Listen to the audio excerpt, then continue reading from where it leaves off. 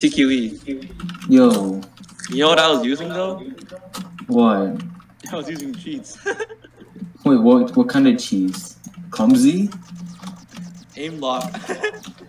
How do you, dude? You you aim locked? no, I, like the worst version of aim lock you could ever find. It's like the one you could search online and you can get it. Oh. That's why it's so bad.